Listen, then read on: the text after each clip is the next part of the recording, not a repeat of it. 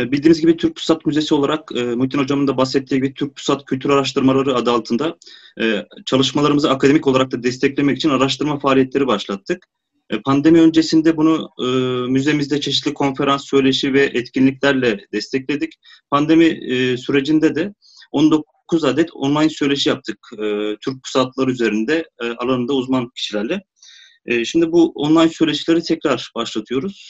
Okuçları üzerine özellikle e, yoğunlaşmamızın, e, okuçlarıyla başlamamızın sebebi bizim e, bildiğiniz gibi müzemizin ana konsepti okçuluk ve okçuluk koleksiyonumuzun da en önemli parçası Muhittin Hocam'ın da belirttiği gibi okuçları.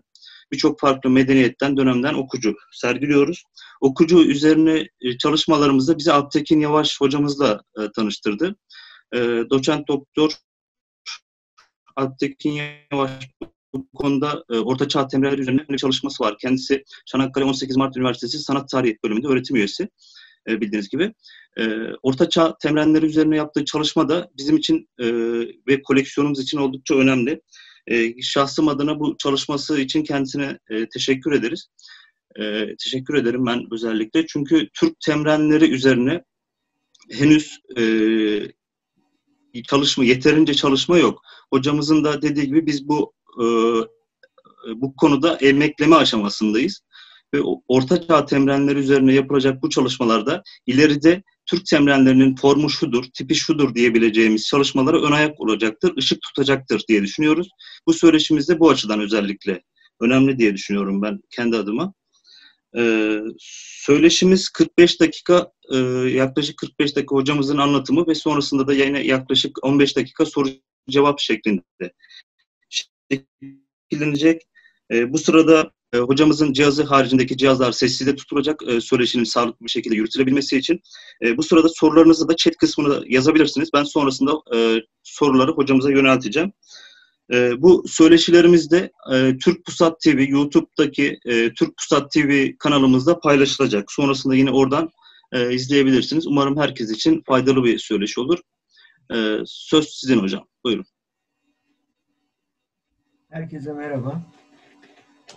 Ee, yani bir cumartesi günü bu saatte e, 37 kişi e,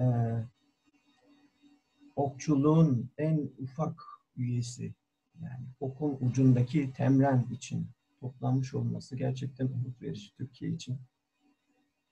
Ee, ben meseleyi şu şekilde sizlere arz edeceğim. Kendi e, planlamam şöyle. E, bir ufak girizgahtan sonra e, bu bir TÜBİTAK projesiydi. Projenin içeriğini anlatacağım. E, iç yapı özelliklerini anlatacağım. Kendi yaptığım tipolojiyi size sunacağım. E, kitapta yer alan. E, ve bunlardan bizim savaş tarihimiz hususunda yeni bir yaklaşım ortaya çıkabilir mi? Bu konuyu birazcık e, dikkatlerinize sunacağım. Şimdi meseleye gelmeden önce e, iki noktaya işaret etmek istiyorum. Birincisi e, bu tür toplantıların önemi. Ben kendi özel hayatımda bir e, sivil toplum kuruluşunun kurucusuyum. Gayet de köklü bir sivil toplum kuruluşunun. E, yöneticisiyim ve bu haftanın belirli günleri insanları bir araya toplayarak e, bu konu, konularının uzmanlarıyla onları buluşturmak için neler çekildiği, ne gayretler çekildiğini gayet iyi bilirim. E, toplantıya beş dakika kala kimsenin gelmediğini görüp büyük bir heyecan duyarsınız. E, insanların bir nebze faydalanabilmesi hususunda e, büyük gayretler sarf edersiniz. Bazen boşa çıkar. Ama bu konuda benim bir çalışmam da var. Bunun önemi hususunda. Yani bilginin, doğru bilginin insanlarla doğrudan iletişimi, doğrudan ulaşımı, dolaşımı e, hiç tahmin edemeyeceğiniz ölçüde Avrupa'da çok daha eski. 17. yüzyılda salon toplantıları isimli, yani salon ismi aslında oradan geliyor? İnsanların e, özellikle kesiminin e, Mozart olsun, işte Voltaire olsun, e, önemli bir iktisatçı olsun, yeni eserin kendisinin evinde özel konuklarının eşliğinde sunum yapması. E, bu konukların Avrupa'nın çeşitli yerlerinde sırf o toplantı için mutat bir şekilde toplanması. Bu toplantıyı yapan kont veya kon, kos, e, konteslerin büyük şöhret sahibi olması. Hatta bugünler için yapılmış özel pasta türlerinin olması. Hala özellikle Fransız pastane kültürünü bu pasta türleri oluşturuyor. Böyle bir gelenek vardır. Salon toplantıları. Bilir misiniz bilmem hala Amerika'da perşembe günleri alelade insanlar yani ale, orta sınıf insanlar, aristokrat olmayanlar da içinde olmak üzere bazen perşembe bazen pazartesi günleri bir araya gelir bir film değerlendirirler. Yeni çıkmış bir kitap tahlil ederler. Bu entelektüel bilginin halka inmesi, halk arasında bu bilginin dolaşımı ve bilginin bir elit e, tayfanın elinde olan, başkalarını ilgilendirmeyen bir husus olmasından öteye bir anlam taşımasını sağlamış Avrupa'da. Bu bir gelenek oluşmuş ve hala devam ediyor. İnsanların kavga etse bir araya geldikleri, e, önemli bilgileri birbiriyle paylaştığı toplantıları çok önemli, önemsiyorum. Biz olma şuurunu, yani eğer e, bir bu milleti oluşturacak biz kavramı ee, öyle de bir yazı yazmıştım. Yani biz kavramının mefhumu nedir?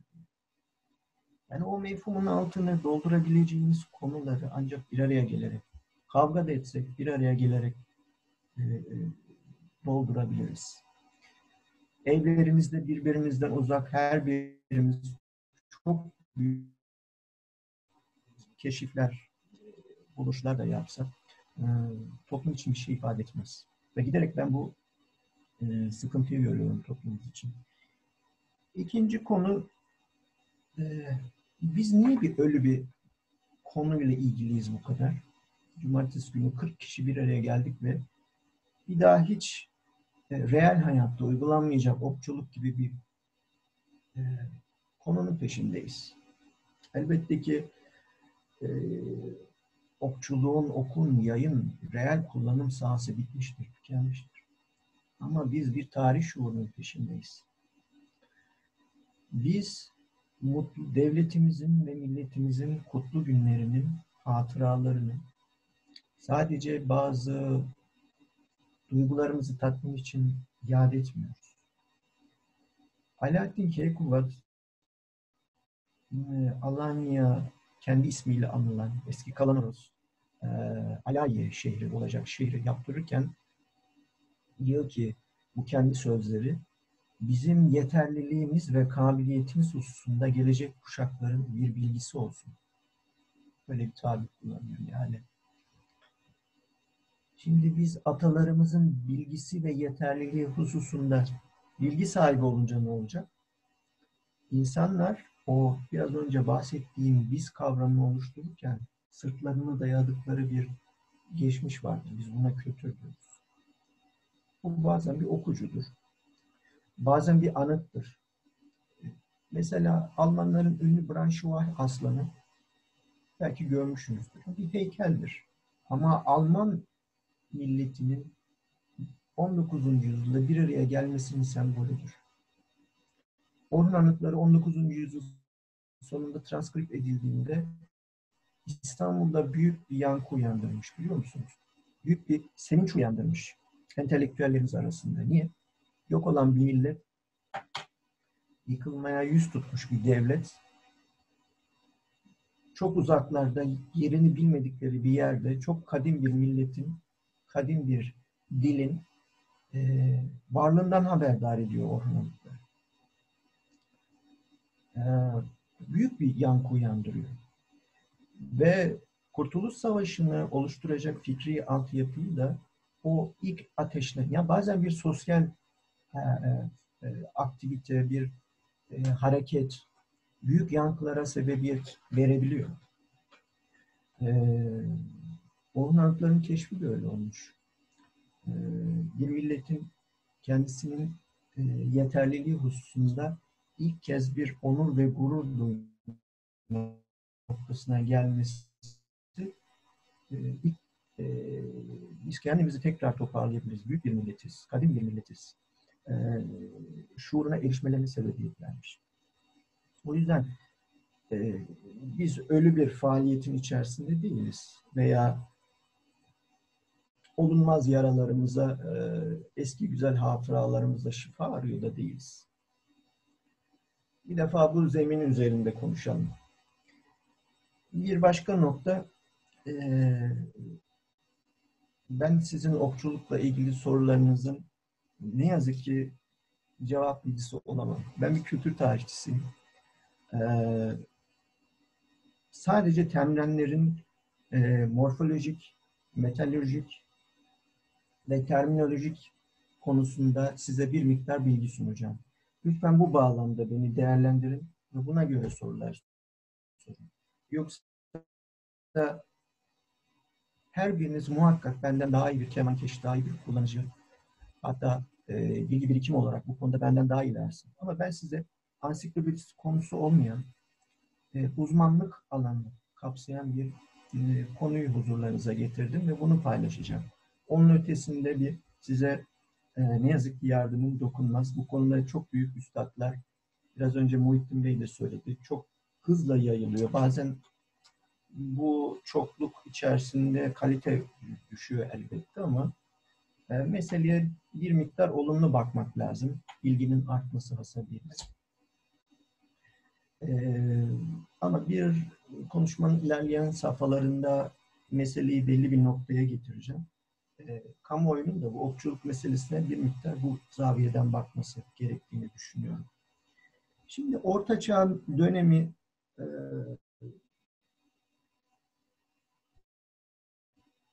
anlaşılması bir miktar zor bir alan. Osmanlı'dan daha zor.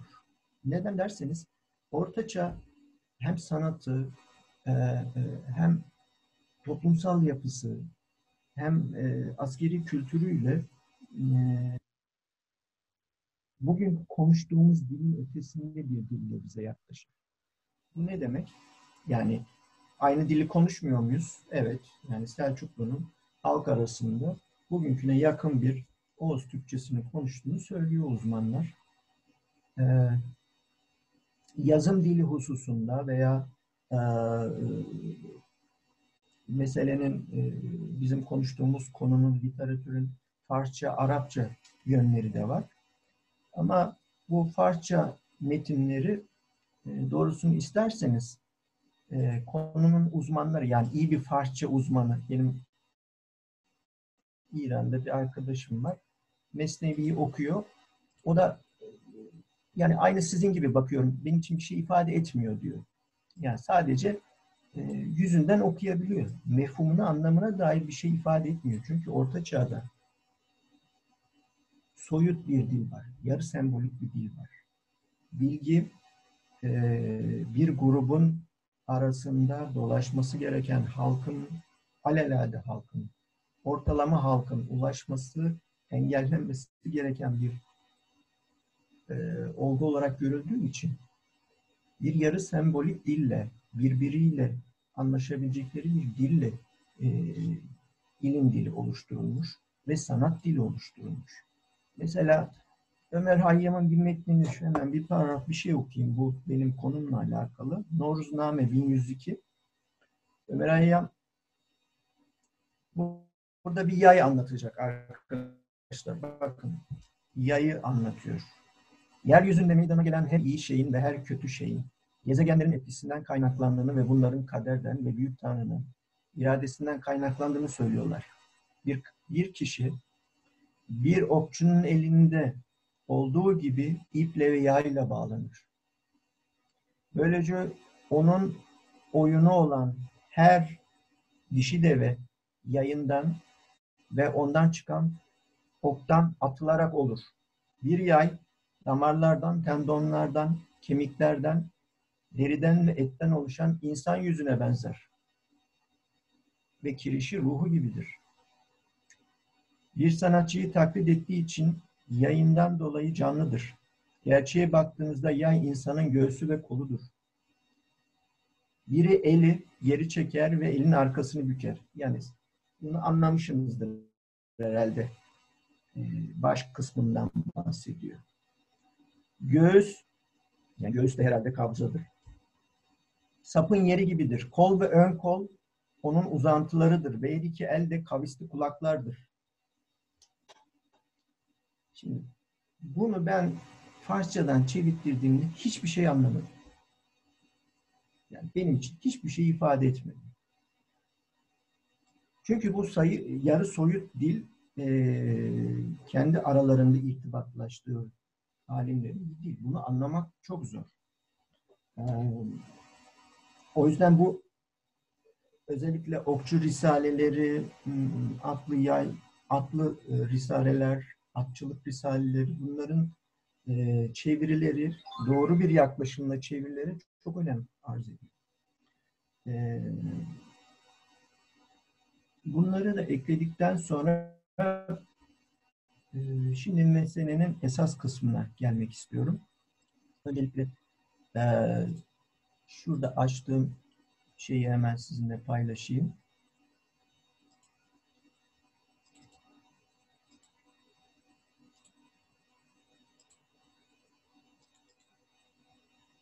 Evet, PowerPoint geldi değil mi? Görüyoruz. Geldi hocam. Görünüyor. Şimdi şimdi ben bir, bir TÜBİTAK projesi hazırladım. 114K 791 kodlu bir TÜBİTAK projesi. Onun sonuçlarını sizlerle paylaşacağım. Bu meseleye nereden başladım? Ee, bir Çek arkeolog grubu Markap Kalesi denen Haçlı Kalesi'ni kazarken bir apsisin ön tarafının ağız kısmının kapatıldığı, burada bir niş oluşturulduğu e, ve o nişin içerisine bir grup içerisinde metallerin, bir grup metalin içerisinde okucu büyük grup olmak üzere doldurulduğunu ve ağzının kapatıldığını keşfetti. Samsat'ta, Adıyaman'da olan Samsat'ta bir burcun duvarın içerisine şu gördüğünüz şu gördüğünüz e, temrenler ki 12.200 adet olduğu anlaşıldı ve diğer başka ok uçları bunun içerisine doldurulup kapatılmış ağzı. Ben bunları çalışacağım. Daha önce e, daha sonra temizlenip analiz yapacağım. E, Alaaddin Keykubad'ın Konya Beyşehir'deki Kubadabat Sarayı'nda aynı şekilde bir hamamın ağız kısmı kapatılarak bir grup yani bunu binlerle ifade edebileceğim okucu buraya e, diğer metal aletlerle saklanmış. Bizans'ın demir üretim merkezi Selanik'te bir demir işliğinde aynı şekilde bir bulunmuş. Bu şekilde. İngiltere'de Gloucester'da Sembrovel Kalesi'nde binlerce okucu depolanmış vaziyette bulunmuş. Ben bunları bir haber olarak, bir arkeolojik haber olarak ilk duyduğumda ne var bunda? Savaş için e, bir burca ok uçlarının depolanması e, gayet mantıklı. Savaş için tedarik e, e, yapmak, hazırlıklı olmak diye yorumladım. Fakat Elmar Kap Kalesi'nin e, analizleri yapıldıktan sonra bazı sonuçlar ortaya çıktı. Bunların bazıları bu ok uçlarının hiç kullanılmadığı, bazılarının kullanılmayacak kadar kötü olduğu, bazılarının yarı mamül olduğu, dolayısıyla e, depolansa dahi dep, e, savaşmak için uygun ok uç olmadığını ortaya koydu. Aynı şekilde Samsat'ta 12.200 ok ucundan benim seçtiğim 200 tanesinden bir tanesi bile kullanılmaya uygun durumda olmadığı anlaşıldı. Şimdi bu durum bana şunu gösterdi. Ee, yani niye depoluyorlar kullanamayacakları ok uçlarını? Ee, şimdi iki tane şey ortaya çıktı. Birincisi analizlerin e, sonuçlarını kısa yoldan söylersem bunlar e, içerisinde kullanılmayacak kadar kötü durumda olanlar saklanmış. İki, e, yarı mamül olarak çıkmış olanlar saklanmış. Ee, üçüncüsü e, kötü durumda çivi, kullanılmış, paslanmış çivi bunlar da saklanmış. Şimdi Orta Çağ'da ikinci üretim, hurda üretimi konusunda hiçbir şey bilinmiyordu. Bilinenler Avrupa'da Elmar Kapı söyledik. Bilinenler Avrupa'da e, kiliselerde çok uzun e, süre kullanıldığı için zaman içerisinde demirlerinin yenilenmesi gerektiği ve bunlar gayet iyi kayıtlarla tutulmuş. Bu e, yenilenme sürecinde eski hurda demirlerin yeniden kullanma hususunda bazı kayıtlar var. Dolayısıyla Orta Çağ Avrupa'sında hurda hususunda, ikinci üretim konusunda bazı bilgiler vardı. Ama ilk kez Samsat'ta ve Kubadabat'ta e, analizlerde şu ortaya çıktı ki iki farklı demir yeniden kullanmak için yeniden dövülmüş, yeniden e, bir forma kavuşturulmuş. Deyim yerindeyse reuse yapılmış. Aynı şekilde Kinetöyük'te e, Mersin taraflarında e, buna benzer bir üretimin olduğu, ikinci üretimin olduğu tespit edilmiş. E, Norveç'te ve başka yerlerde, Arsuf'ta Haçlı Kalesi'nde bulunanlar önemli. Şimdi burada e, nasıl üretilmiş? Şimdi lupe denilen bu ara mamül yani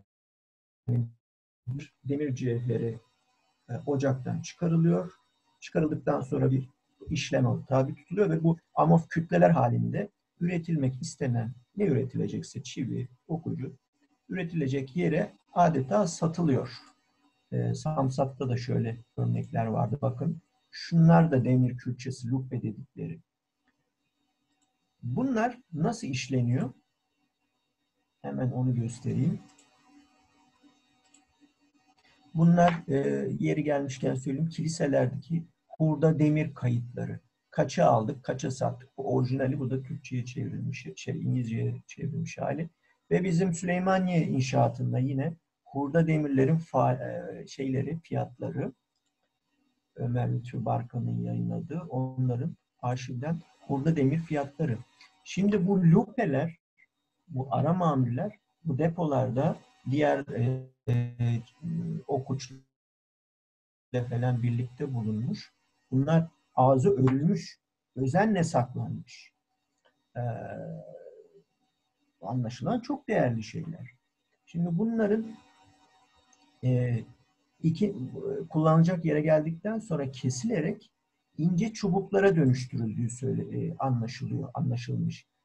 Türkiye'de bulunmadı ama Avrupa'da Çek e, topraklarındaki 9. yüzyıl öğren yerlerinde işte bu ince çubuklara dönüştürülüyor. Bu ince çubuklardan da her biri e, bu Fahri Müdebbir diye 12. yüzyıl kaynağımız söylüyor bu yaklaşık 50-60 santimlik demir çubuklara dönüştürülür. Bunlardan da o e, demirci e, ustası keserek üreteceği objeye göre demiri dövmeye başlar bunlar diyor.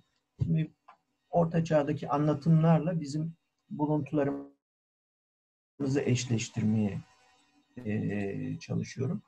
E, ikinci üretimin yanı sıra birinci üretimde bu şekilde. E, tekrar söylemek gerekirse hurda demirleri e, tekrar farklı malzemeleri bir araya getirerek, eriterek yeni üretim yapıyor. Sıfır üretim yapacağı da, da bu yapacağı zaman da bu lupe dediğimiz ara mamulleri daha pahalı üretim, birinci sınıf üretim için bunları, bu külçeleri kullandığı anlaşılıyor. Bu dem, e, kale burçlarında saklama geleneği de Orta Çağ'da çok yaygın. Çünkü her zaman e, mübadele, para imkanı e, ellerinde olmuyor. Bir emtia aracı olarak demirin kullanılması, ya bakınız ben en az üç tane saray kazısında bulundum. Hiçbir mücevherat bulmadığım gibi bir tane kaşık, bir tane e, bir şamdan elimize geçmedi. Çünkü bir e, orta çağda yama yapıldığında değerli mücevherattan sonra bakılan ikinci şey demir objeler. Bunların tamamı ne olduğuna bakmaksızın toplanıyor ve ikinci üretimlerle kullanıldığı anlaşılıyor. Moğolların kayıtlarında da bunlara çok sık rastlıyoruz. Orta Çağ'da da e, sıklıkla kullanıldığı ve bir değiş tokuş aracı, bir emtia aracı olarak bunların çok sık kullanıldığı anlaşılıyor.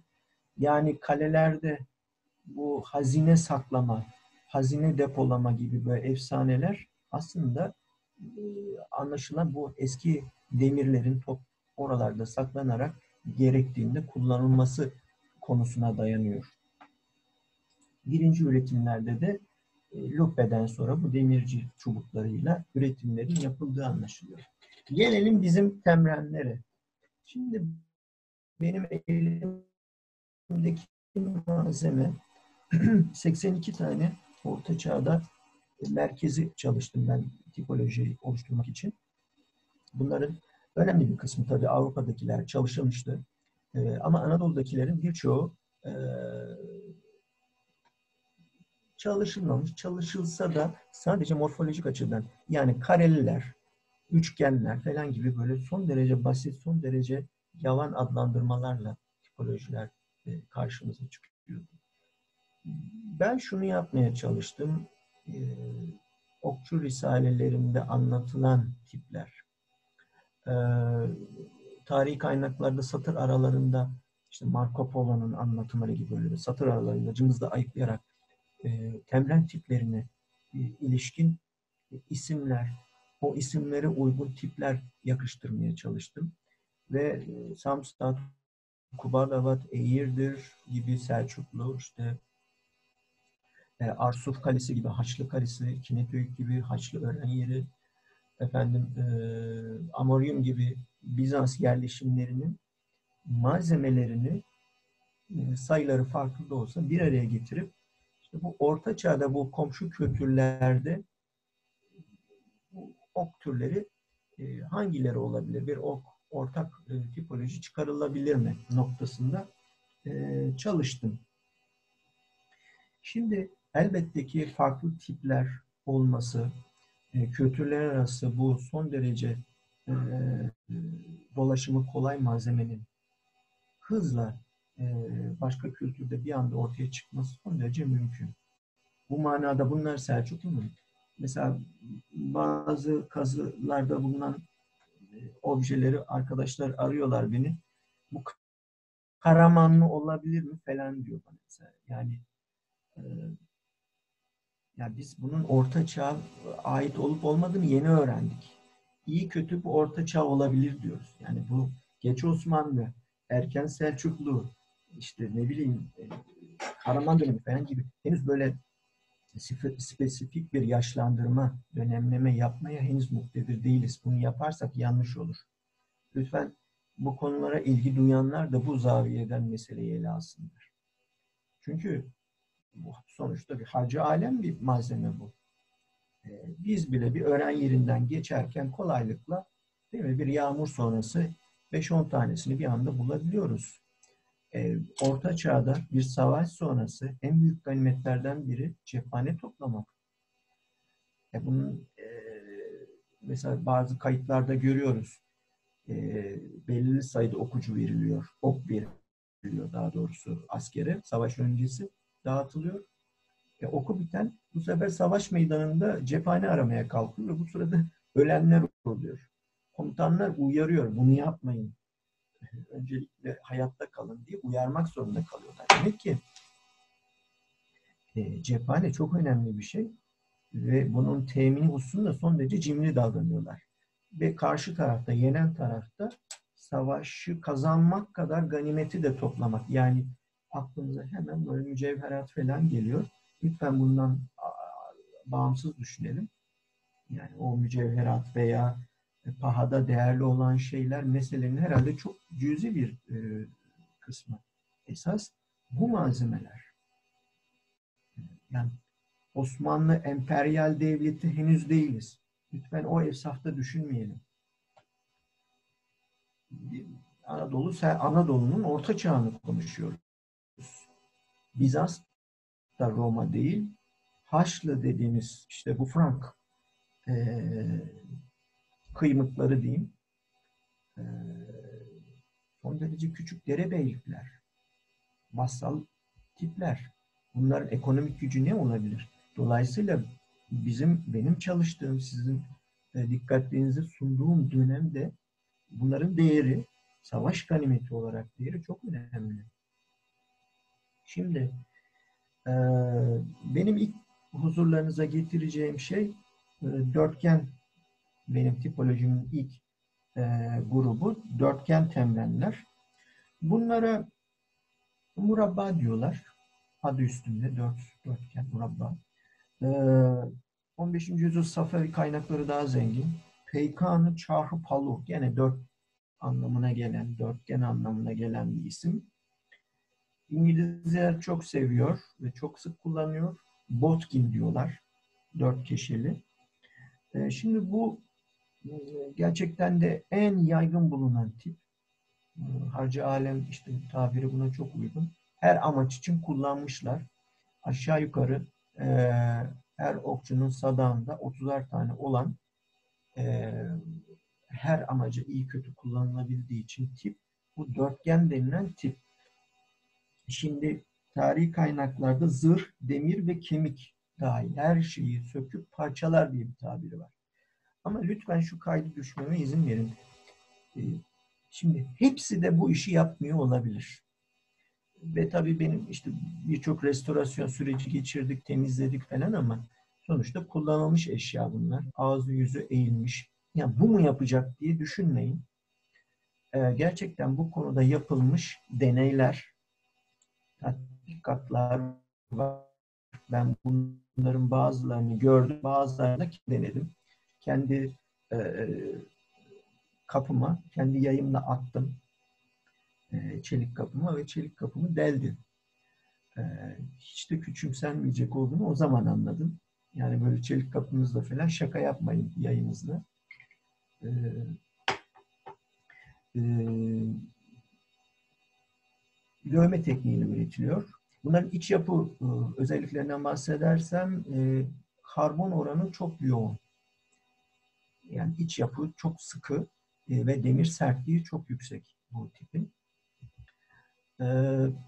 İkinci grup üçgen diye adlandırılıyor. Fakat bu üçgen biçimlerin 5. yüzyılda bir Arap şair var. Ümrül Kays diye ünlü bir Arap şair. O bu tipi bir atın yanaklarına benzetiyor.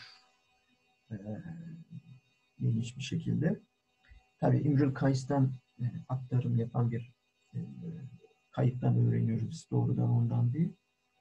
E, telhiste meşhur Mustafa Kani Bey'in telhisinde müselles diyorlar buna.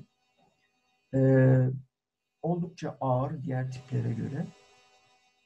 Vücutta e, büyük bir yer açıyor ama penetrasyonu yani vücuttaki penetrasyonu biraz sonra göreceğimiz yassıya göre daha yavaş. E, dolayısıyla yassıya göre daha az kan e, akıtabiliyor, daha az damar kesebiliyor ama daha büyük yer açabiliyor. Bu tip e, İskit döneminden beri Asya'nın en sık kullanılan, özellikle bronz malzemeden en sık kullanılan e, tipi Hun döneminde, Göktürk döneminde çok sık kullanılmış örnekler. Ama Anadolu'da bunu çok nadir görebiliyoruz. Benim elimdeki e, birkaç örnek e, Alanya'yı saymazsak ki Alanya'da bir Bizans e, geçmişi var. Türk döneminde çok nadir kullanılmış. Bunun sebebini biraz sonra yassı uçlarda anlatacağım. Ha, bu biraz önce dörtgenlerin e, demir işte bu yaklaşık bir buçuk santimdi galiba. Bu sacı nasıl deldiğini bu dörtgen temlenlerin ona ilişkin bir görüntü. Şimdi bu yassı denilen tip Divan Lugati Türk'te yasıç diyorlar. Ee, yine bazı yerlerde müselles deniliyor. Ee, Peykan Sapahlu deniliyor. Ee, Taybuga'da meşhur Memluklu silahşörümüz. Yağlık veya harbi deniliyor. Ee, bazı türlerine haydari, canvari ki bunların alda kullanıldığı anlaşılıyor. Ee, zırh delici olanlara biraz daha dairesel ağız kısmı olanlara e, zeytuni deniliyor. Şimdi Marco Polo e, Moğol askerlerinin cephaneliğini sayarken e, yakın mesafe atışları için 30 tane yassı temre, e, yassı okları sadaklarında olurdu diyor. 30 tane de e, diğer uzak atışları için oklar okları olurdu diyor. Onun nevini söylemiyor. Büyük ihtimal dörtgen onlarda. Şimdi bu Kırgız döneminden başlayarak Orta Çağ'ın tamamında en fazla kullanılan tip yası örnekler. Bunların birçok şeyi var, alt türü var. Ee, benim tespit edebildiğime göre en şey uç ve bilezik kısmına olan mesafesine göre birçok alt türe ayrılmış. Ve bu alt türlerde farklı kullanım, biraz önce bahsettiğim av için, efendim savaş temreni olarak kullanım için veya zırh delmek için farklı e, alanlarda kullanılmasına bu ve bu ihtiyaçları gidermesine imkan sağlamış bu yastıç. Şimdi yastıç niye? Özellikle bu Kubutyakov, Medvedev gibi bu alanın önemli Rus araştırmacıları 1960'lı 70'li yıllarda bu meseleye kafa koymuş, koymuşlar, yormuşlar ve e, şey diyorlar bir Kırgız devri, devriminden bahsediyorlar. Uygurların canını okudukları. Tam bu dönemde yassılar ortaya çıkıyor onların tespitine göre. Yaygınlaşıyor daha doğrusu. Yine bu biraz önce gördüğümüz üçgen tip devam ediyor ama bu yassılar ortaya çıkıyor. E, bunu Kubutyakov plak hazırların e, ortaya çıkışıyla paralellik kuruyor bununla. E, ve yaygınlaşıyor. Orta çağında en fazla, Selçuklu'nun en fazla kullandığı e, ve en, en en etkili olan. Şimdi bunlardan bazı deneyler yapılmış. E, Reisinger diyor ki üç kanatlıdan daha ağır. Ama rüzgarda sürtünmesi daha az olduğu için daha etkili gidiyor. E, Holmberg diye bir araştırmacının deneyi Üçgen geniş yara açıyor ama penetrasyonu az. Yassı ise girişi daha ince ama içeride penetrasyonu daha hızlı, daha fazla damar kesiyor, daha fazla kan kaybı yaratıyor. Mikrop e, almasına sebebiyet veriyor. Enfeksiyon kapıyor yani e, saldırıya uğrayan ve ölüme sebebiyet veriyor. O yüzden tercih edilmiş olmalı diyor. 1886'da Doktor Bill ok yaralanmaların üzerine meşhur bir makalesi var. Orada yassı olan ette daha iyi ilerliyor diyor. Ee, üçgen olanlara nazaran. Avrupa'da internette de görmüşsünüzdür. Birçok bunun e, tetkiki yapılmış ama bu e, yassılar diğerlerinin nazaran öne çıkıyor. Benim tespitim, bu tespitleri e, ekleyeceğim. Şimdi bu yakın e, mücadelelerde kullanılan, kullanıldığı söylenen uçların tercihi aynı zamanda atlı uzaktan savaşmaya e, uygun savaş taktiklerine sahip atlı süvari birliklerini yavaş yavaş ve onların savaş taktiklerinin yerini almasıyla ben birazcık açıklıyorum. Ee, biraz önceki e, özelliklerine ekleyeceğim şey o. Ee, dolayısıyla bu yakın mesafe e, e, savaşlarında mesela Alparslan biliyorsunuz suikastçisine oturduğu yerden bir tane ok atıyor ve onun suikastine böyle mukabele edebiliyor çok yakın mesafeden. bu yassı kesitlerin anlatılanlara göre bu tür atışlar için uygun olduğu söyleniyor. E, dolayısıyla ben piyade sınıfının yükselişiyle yassının yükselişini paralel görüyorum. Böyle birçok türü var, tipi var, alt türü var. İşte deltoid olanlar, uçurtma biçimli olanlar diyor, eşkenar, kısa deltoidler, uzun deltoidler benim tipolojimde de yer alıyor bunlar ayrıntılı. Ee, bu yuvarlak kesitli olanlardan çok nadir bulunuyor. Ee, şeyde e, Taybuga'da sanırım yanlış hatırlamıyorsam yanlış bilgi vermeyeyim diye bir kontrol edeyim. Ee, evet zırh ve savaş giysilerini e, uzun olanlarında kalkanlara atıldığı söyleniyor bu özel tipin. Ama çok nadir bulunan bir bu dairesel kesitli şeyin bunu nasıl yaptığını e, insan hayret ediyor ama tarihi kaynaklarda böyle deniyor. Bunun da yuvarlak kesitlerin de daha etkili savaş için kullanılan böyle daha küçük adeta mermi çekirdeği gibi formu e, bir alt grubu da var. Bunlar da özellikle savaşta etkili olduğu söyleniyor. Yassılar ve bunlar için söyleyeceğim bir şey de zırhsız düşmana atılır diye bir kayıt var. Yani dörtgenler için nasıl bir zırhlı asker, zırhlı düşman tabiri kullanıyorsa bunlar için de zırhlı olmayan düşmana atılır gibi bir e, ibare gördüm. Şimdi bu, bu V biçimli ve ay şeklinde olan Taybuga'nın hilali dediği e, temrenler biliyorsunuz bunlar kuşa atılır diye geçiyor. E, bunun dışında e, deniz savaşlarında yelken iplerini kesmek için bu aletin bu ucun kullanıldığı söyleniyor. Onun dışında e, birçok av türünde bu özellikle kullanıldığı söyleniyor. Mesela bu dördüncü Kılıç Arslan sikkesi sol altta olan Anadolu Selçuklu hükümdarı avlanmasıyla ve av konusundaki yeteneğiyle biliniyor. Ee, onun ucundaki de e, stilize bir ay şeklinde. Şurada dikkatinizi bir şey çekmiş olmalı. Ee, iyi kemankeşler hemen fark etmiştir. Başparmak atışının benim tespit edebildiğim en eski örneği bu. Yani bir e, ne diyeyim size herhangi bir buluntu üzerindeki e, tespiti. Yani bazı minyatürler var ama onlar da çok yakıştırma. E, bu 1260'lı yılların tarihlenen Sikke'de bakınız nereden anlıyoruz?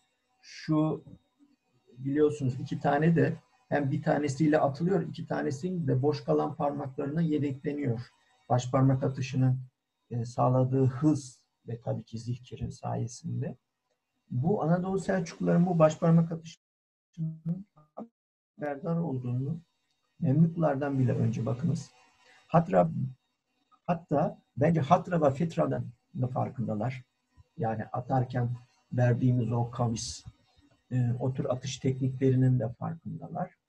E, ve ilginç bir şey daha, Osmanlı dönemi telhiste, Mustafa Kani Bey'in Okçu Risalesi'nde, bunları hepimiz bildiğimiz için e, telhis diye kısa ismini söylüyorum. Telhis Rumat meşhur Mustafa Kani Bey'in. Yeniçeri Ocağı kaldırıldığında biliyorsunuz bir numaralı Yeniçeri padişah ben bunu nasıl yaptım diye birazcık meselenin e, kamuoyunda yankısını azaltmak için bir grup okçu risalesi yazdırıyor. Mustafa Kani Bey de işte kahveci başısı. Bunlardan biri o okçu risalelerinden. Bir tanesi meşhur Telli Sürmat. Orada bir şey var kayıt. E, bizimkilerin eski diyor defterlerinde e, hatra ve fetra e, fetre uzun uzun anlatılır diyor. Şimdi bizimkilerin dediği kim? Taybuga'dan bahsediyor. Yani 14. yüzyıl Memlük Ok Risalesi'nden bahsediyor.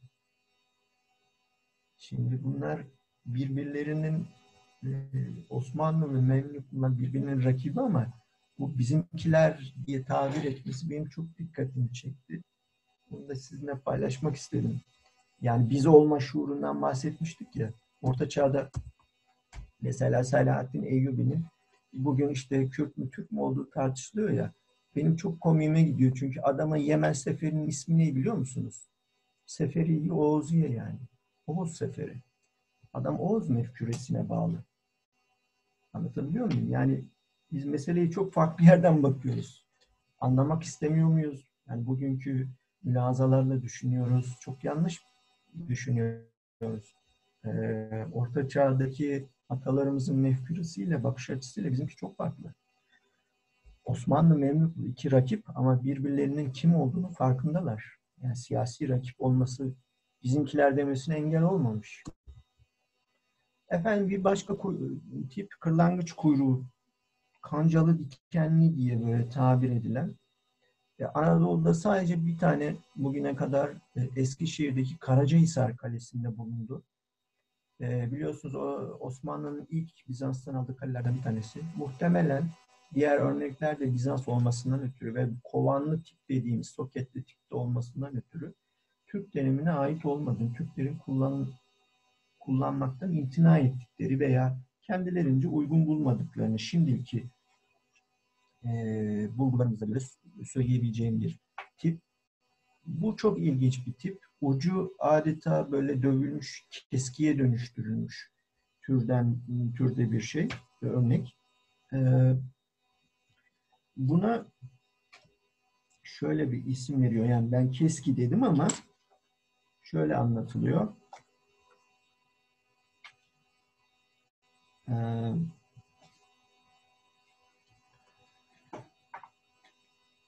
zırhlar için yapılmış, özel olarak yapılmış bir uç olarak anlatılıyor.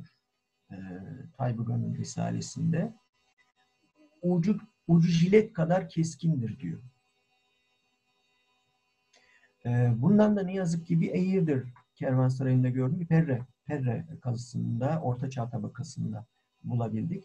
E, kesinlikle zırh için hazırlanmış bir, e, kullanılmış bir savaş temreni. Ee, bir grup da benim bileşik dediğim e,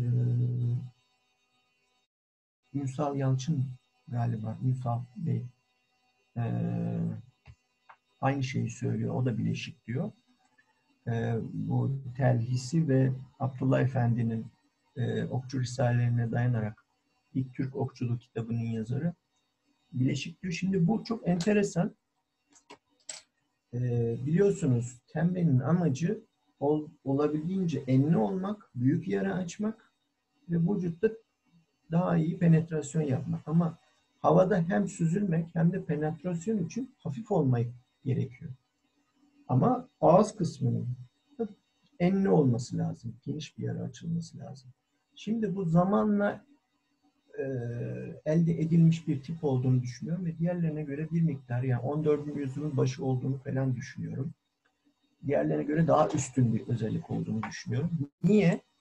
Bakın enli bir ağzı var ama ağırlığını bu ende devam ettirmeyip bu kısmı, boyun kısmını uzun, boyun kısmını uzun ve dar tutarak ağırlığını hafifleterek hem havadaki stabilitesini hem, hem vücutta hafif olarak daha hızlı ilerlemesini ama ağız kısmının ilk giriş, giriş yaptığı yerde vücutta daha enli bir e, yara açmasına imkan sağlayacak bir form oluşturmaya çalışmışlar.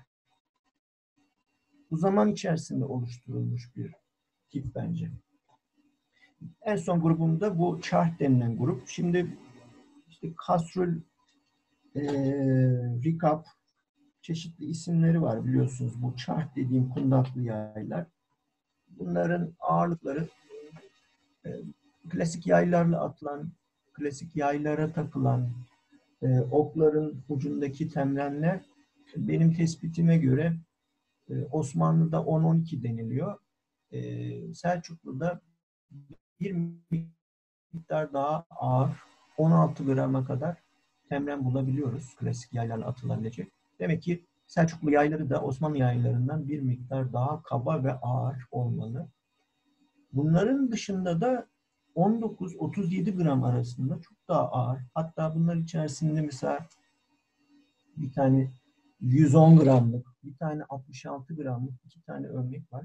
Klasik yağ ile atılamayacak kadar ağır olanlar var ki bunları e, Ömer Hayyam işte çar diyor, nim çar, e, orta çar diye böyle çeşitli sınıflara ayırmış, e, gruplara ayırmış ağırlıklarına göre. E, bunlar içerisinde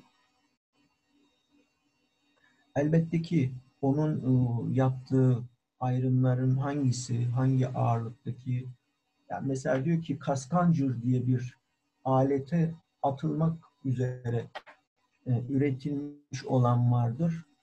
E, 800 adam ağırlığındadır. Soyut bir dil dedim ya. Yani buradaki herhalde adamdan kasıt bir, bir tabii çevirilerden de kaynaklanıyor. Birinci kaynağı da görmek lazım da bir ağırlık biriminden bahsediyor büyük ihtimal. İşte o 800 bilmem ne ağırlığındadır. Bunlar büyük herhalde katapult dediğimiz kuşatma makinalarında kullanılan e, uçlar olma. Nitekim bu Arsuf'ta e, bunlar İsrailliler kazıyor. Arsuf'ta hemen onu göstereceğim size. Üzerine sicim sarılmış bir tane okucu bulunuyor. Onu bulabilirsem size göstermek istiyorum.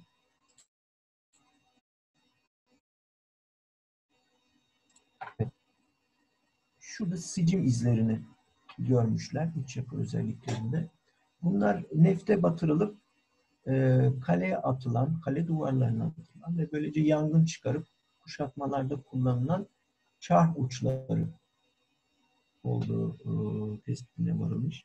Şimdi benim tespit edebildiğim çarh uçları dediğim gibi farklı ağırlıklarda varlar. Evet. Ee, Orta Çağ okçu risalelerinde uskur deniliyor, kısa olana dudani deniliyor, orta boy olanlara. Şimdi bunlardan hangisi hangisi henüz bu bilgiye sahip değiliz. Ama bunların kundaklı yay denilen sınıfta üretilmiş e, o tip aletlerde atılmaya mahsus uçlar olduğunu e, ortaya koyduk. En son da e, bu üretim hatası örnekleri sizlere göstermek istiyorum. Herhalde bir miktar da süremi açtım. İşte bu kalelerde saklanmış, depolanmış dediğim baştakilerin birçoğu böyleydi. Bunları açmamışlar ve emtia aracı olarak kullanmışlar. Kısaca iç yapı özelliklerini söylersem e, birçoğu katışıklı yani farklı malzemelerin bir araya getirilmesiyle heterojen bir iç yapısı var. E, yüksek karbonlu, sert, mümkün ol, mümkün olabildiğince sert yapılmış. Hatta bazılarının usta eline gelen o ara mamülü e, biçimlendirmeye başlamış. Fakat o olması gerektiğinden daha fazla sert olduğunu fark edip yarıp olduğu gibi bırakmış. Bir kenara atmamış, saklamış. Tekrar üretirim, tekrar e, ikinci üretimde başka bir şey olarak kullanırım diye bir kenara ayırmış. Ama kendi kafasında bir sertlik oranı olduğunu, onun altı ve üstü olduğunda malzemeyi kenara ayırıp başka bir arama ile tekrar üretim yapmaya e, yapmaya çalıştığını anlıyoruz. Yani e, şekillendirme aşamaları olduğunu e, tespit ettik. Yani binlercesini çıraklarıyla, ustalarıyla atölyelerde e, Temre'nin Demavent merkezi olarak biliniyor. Bunu da söyleyeyim. Orta Çağ'da bugünkü İran coğrafyasında yer alan Demavent'te binlerce e, okucunun işte önce e, iğne kısmından başlayarak bir kısmını bir çıran, bir kısmını daha ilerleyen bir safhasını başka bir ustanın böyle elden ele dolaşarak adeta fabrikasyon gibi yapıldığını gösteren e, yarı bırak yarıda bırakılmış üretim hatası örnekler tespit Yani kesin konuşamıyoruz ama tesadüfü aşacak kadar benzer oranda e, aynı şekilde yarım bırakılmış örnekler gördük. Bu da üretim aşamasında bazı merhaleler olduğunu, ustaların alıp bir tanesini e, tek başına başlayıp bitirmediğini, böyle parça parça iş olarak tamamladıklarını görüyoruz. Bunlar söylediğim gibi ortalama tipler. İçinde Şam işi, Damaskus işi olabilir. Çok daha kaliteli. Sultana, beylere mahsus uçlar da olmuş olmalı. Tıpkı bıçaklar gibi. Ama bunlar dediğim gibi savaşta ganimet olarak ilk elde edilen, ilk, ilk e, elde edilmeye çalışan ürünler olduğu için henüz elimize benim elime ulaşmadı. Müzelerde de görmedim. Böyle damgalı anlatılan efsanelerde olduğu gibi, tarihi kaynaklarda olduğu gibi üzerinde sultanın arması olan veya bilmem ne ekolünün, okulunun işareti olan, bilmem ne ustasının işareti olan temrenler. Bunlar herhalde çok daha iyi iç yapı özelliklerine, kaliteli e, karbon oranı yüksek, daha sert, stabilitesi daha iyi e, uçlardı. Ama henüz elimize bunlar geçmedi. Şimdilik ben bu kadar yetineyim. Sizin sorularınız varsa onları alayım arkadaşlar.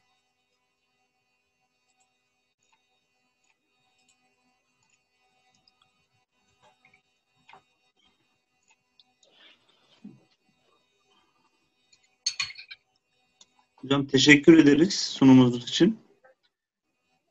Ee, ilk soru şu şekilde. Ee, av ve savaş alanında kullanılan temrenlerin tahribat etkisine göre bir malzeme seçimi ve tipolojisi var mıdır?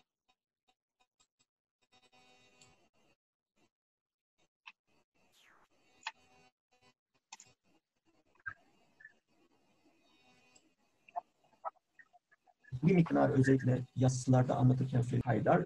Aslan demek biliyorsunuz. Vahşi hayvanlara atıldığını e, akla getirecek isimler takmışlar yazılar için. E, dörtgen olanlar harcı alem her şeye kullanılıyor ama özellikle zırh delicileri olanlar var bir tip olarak. E, savaş temrenleri dediğim gibi kendi içerisinde oldukça ayrı ihtisaslanmış, çok alt gruplara kadar inen Şimdi bir de şu mesele var tabii. Bu soru şunu da getiriyor. Ya bunlar savaş sırasında nasıl hesap ediliyor? Benim anladığım kadarıyla e, çok spesifik görevleri olan askerlerin e, temlenleri ayrılıyor. Yani bunlar e, kişiye atılacak, önemli personele atılacak, sultana atılacak, e, uçlarsa zırh deliciler, kaliteli iç yapısı falan bilinen çok kaliteli olanlar, iyi atıcılara, ünlü kemankeşlere, savaş sırasında önemli kişilere saldırıda bulunacaklara dağıtılıyor. Diğerleri biraz harcı alem, yani yaklaşma atışı yapılacaksa e, bu uzak atış diye tarif ediliyor. Herhalde bu dörtgenler ama yakın mesafeye geldi mi? Çünkü şey diyor, e, uzaktan atılacaklar bittiği için kısaları çektiler diyor. Yani bu demek ki işte yakın mesafede olan yassı uçlulara geçmişler.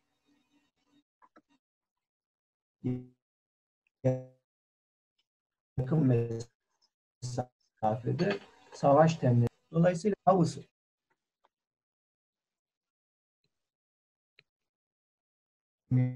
çalıştığım gibi çeşitli alt grupları var. Av içinde münferiden bir o hilali dedikleri e, Taybuga'nın ve hilal şekilli olan uçlar var. E, özellikle kuşlara, kekliğe özellikle atılırmış. Sultanın en sevdiği, sultanların en sevdiği e, av eti olması hasebiyle.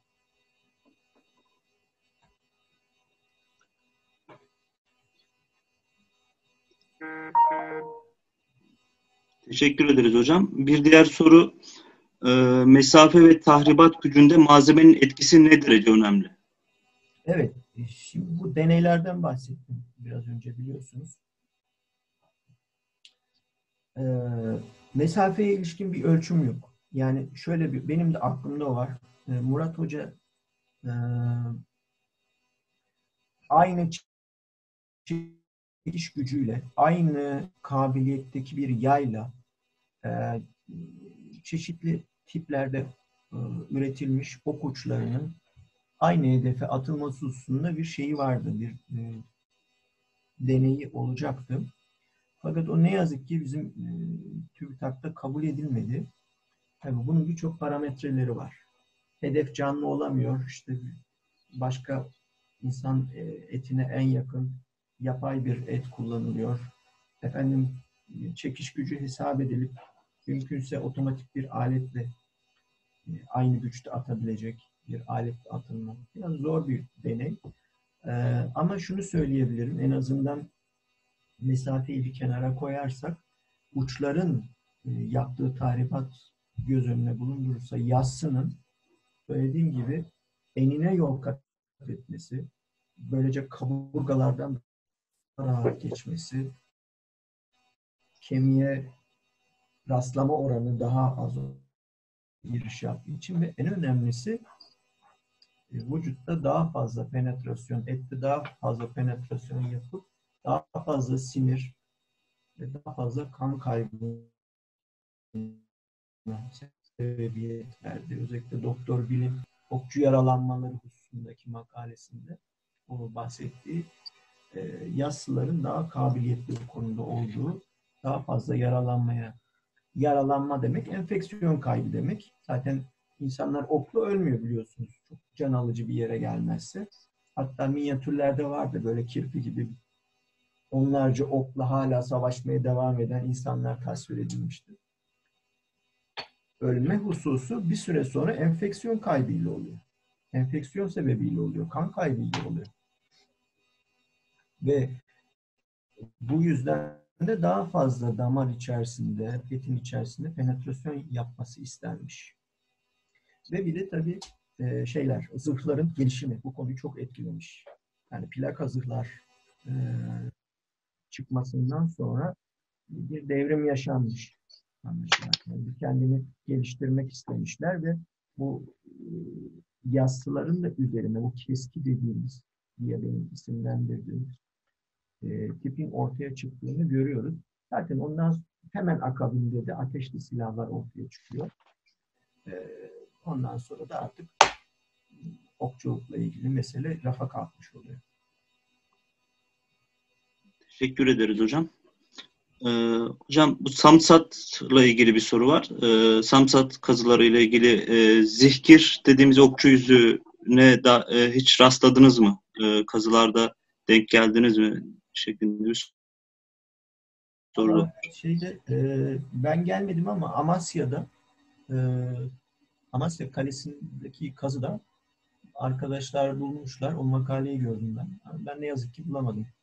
E, onlarınki de son derece hani şu anda elimizde olanlar hani yüzüne bakmayacağımız kadar kötü, naif, basit, e, kemikten e, zikirler olduğunu söylemeliyim. Çünkü bunlar dediğim gibi değerli malzeme. E, hemen şey yapılıyor. Böyle kazılarda bulabileceğimiz çok büyük tesadüf olmalı. Yani ben bulmayı da beklemiyorum.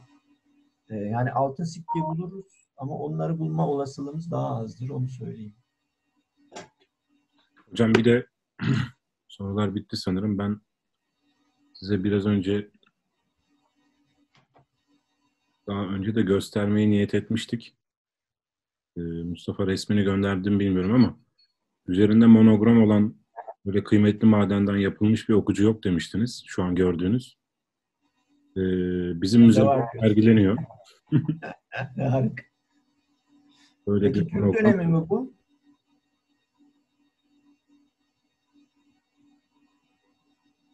Sesinizi alamadım hocam. Türk dönemi mi diye sordum.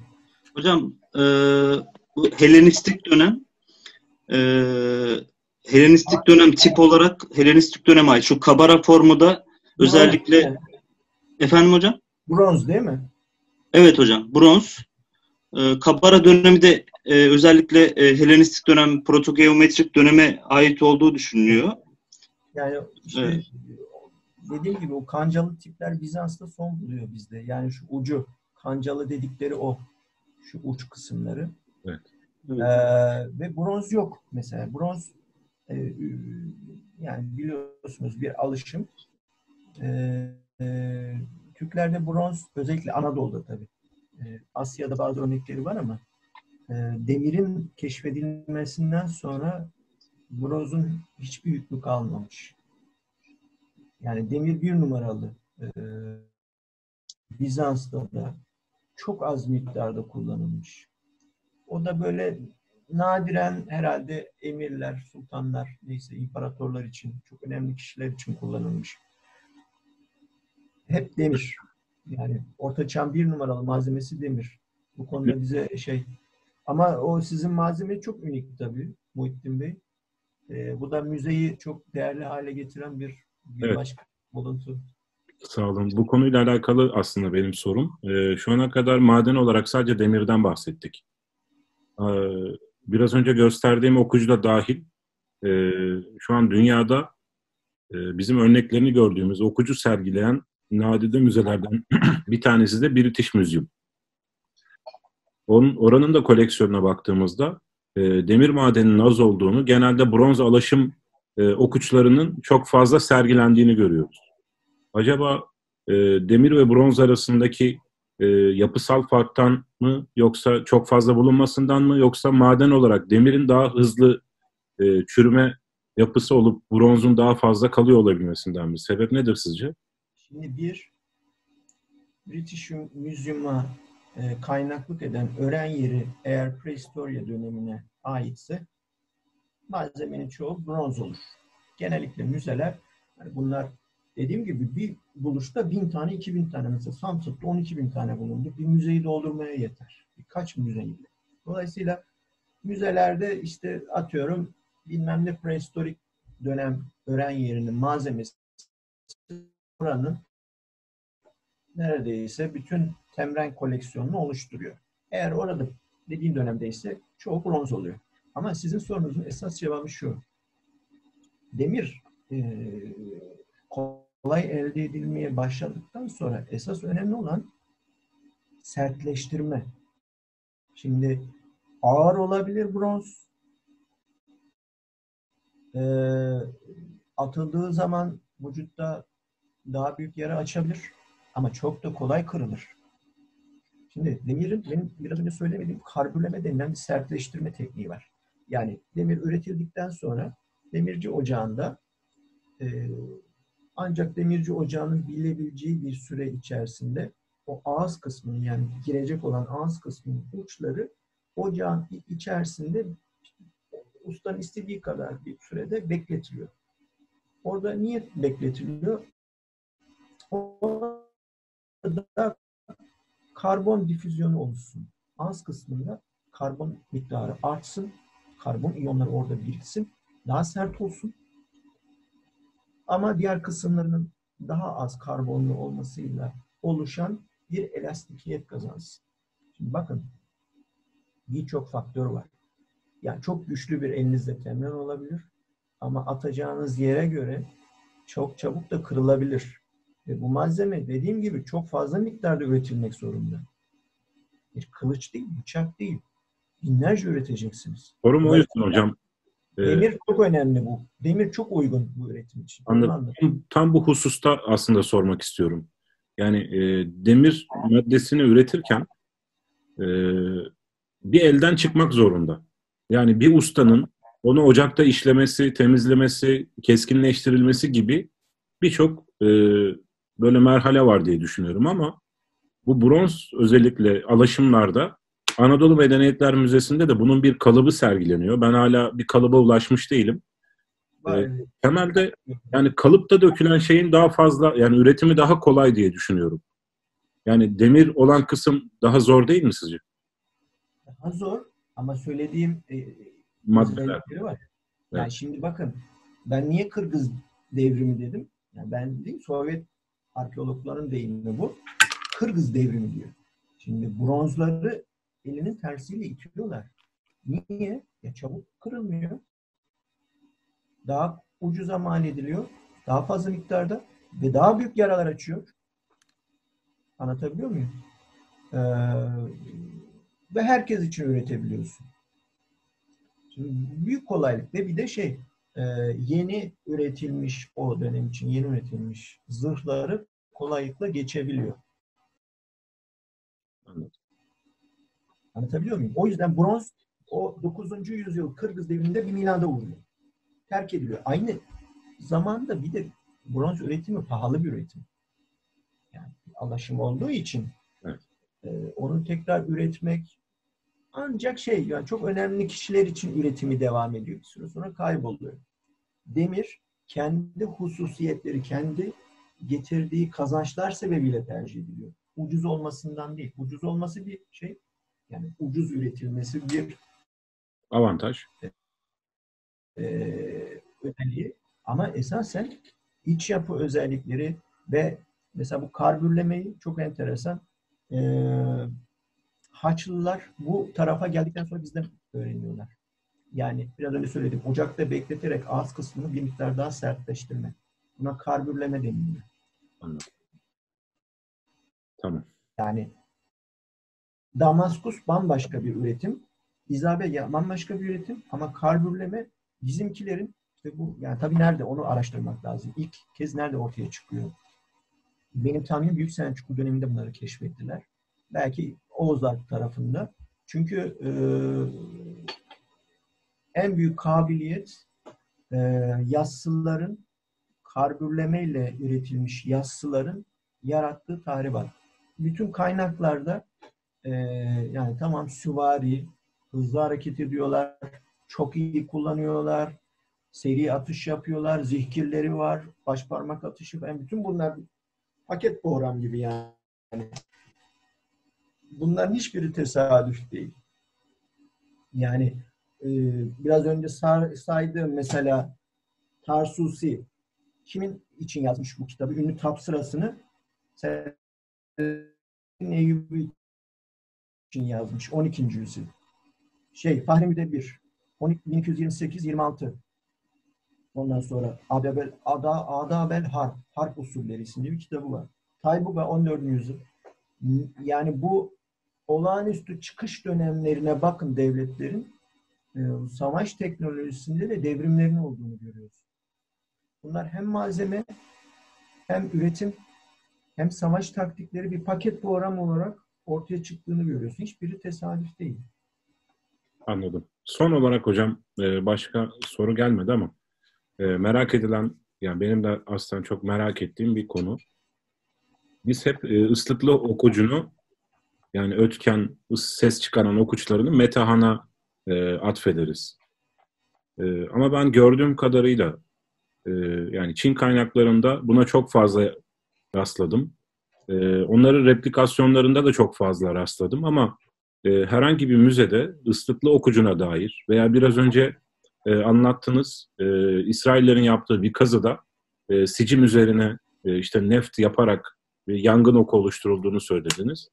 E, bu tarz özellikli hani darbe veya e, işte zayıf zırha atılan temrenler değil de daha özellikle okuçlarıyla karşılaştınız mı? Islıklı okucu, alevli okucu gibi kazılarda.